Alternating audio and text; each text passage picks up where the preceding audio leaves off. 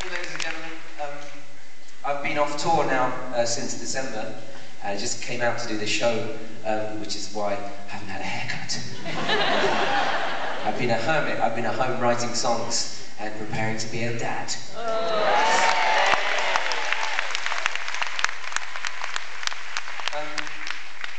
I want to tell you why we're here and what to expect tonight. Um, this is really special. Uh, I'm here because a man named Dave Mossman, who I've known for many years, uh, asked me uh, for some help, and I think we're at a very interesting time. Um, with the change of government and the change of times, Arts Council funding has disappeared.